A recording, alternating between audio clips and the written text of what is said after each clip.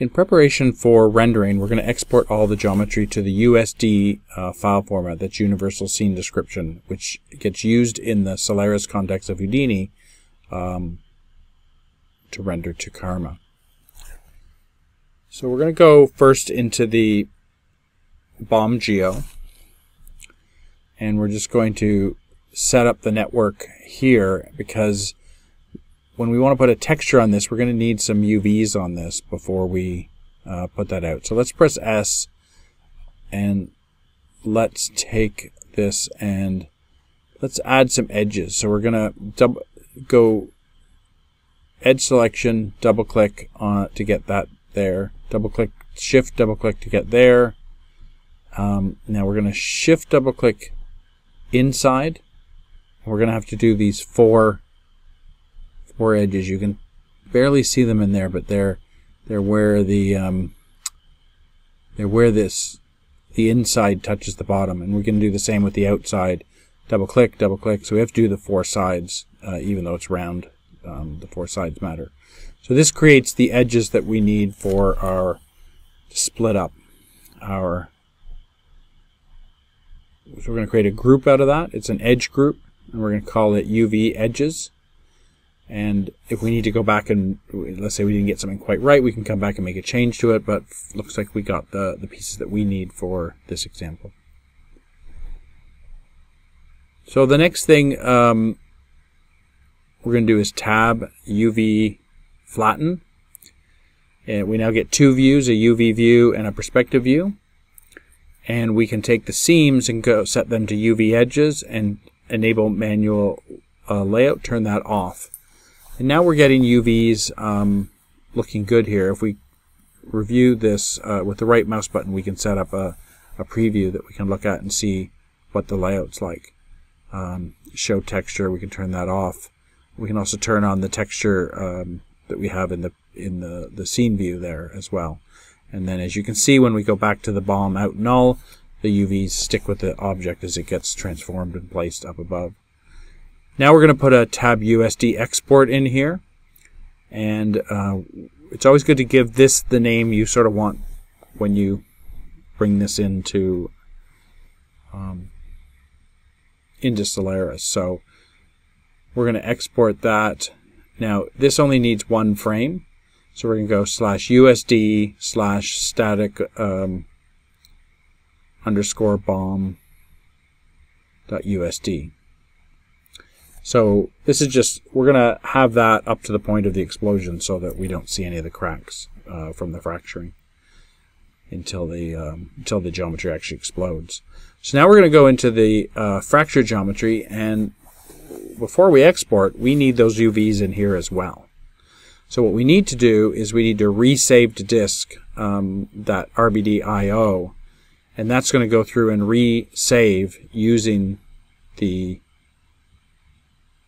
uh, UVs that were set in the geometry that we brought in. And uh, if we go in and to see that, we're going to go tab uh, unpack. And as you can see, when we unpack, we can now see the UVs on that geometry.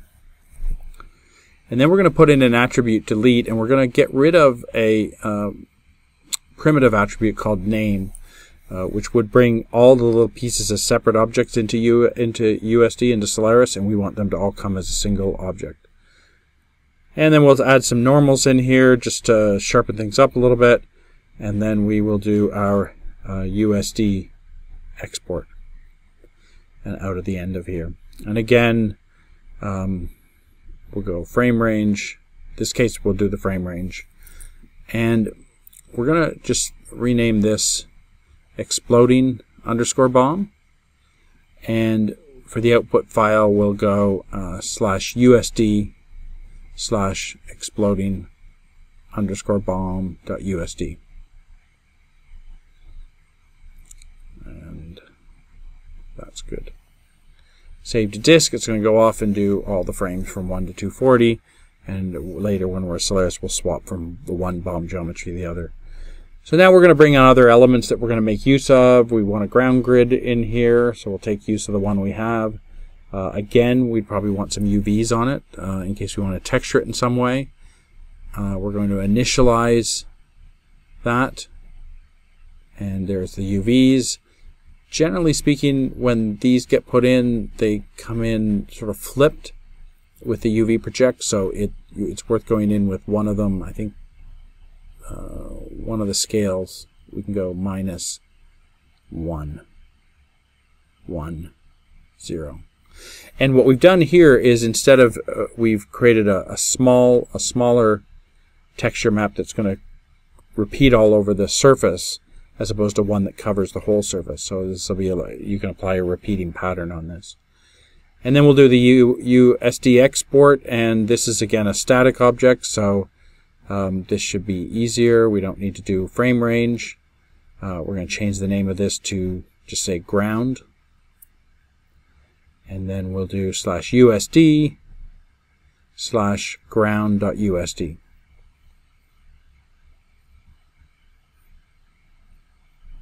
Good. Save to disk. That's quick and easy. So the next thing we're going to do is uh, do the fuse geometry.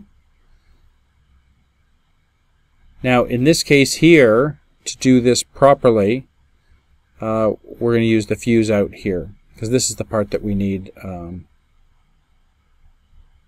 exported.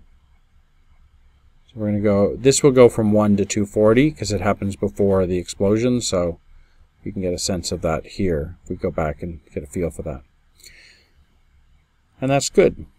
So the steps are the same. Give it a name here, fuse, and then we can in the export up above um, we can do render frame range 1 to 240 and we'll just go slash usd slash fuse.usd perfect.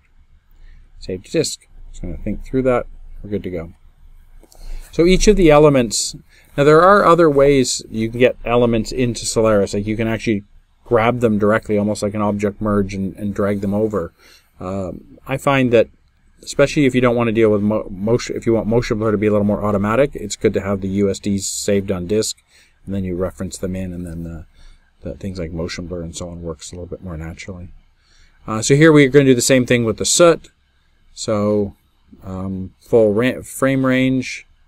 Um, I'm going to call this soot underscore trail, and we'll do slash USD slash soot underscore trail dot USD. Save to disk. So each of the elements that we want to put into our final scene, we're, we're, we're getting them uh, spit out and cached, which also is going to make things more efficient when we want to scrub and play around while we're setting up the rendering because all of this will be set up and ready to go. And the next thing is the sparks. There, there, that's what they look like right now and we're going to go tab USD export. Actually, before we do that, we're going to do an attribute create because one of the things we need on these is uh, in order for these to render properly, they're going to need a width attribute so that these lines actually render with some sort of width. So we're going to set a value there of 0 0.0005. And once we have that, um, then we can add our USD export. Tab USD export. And render frame range.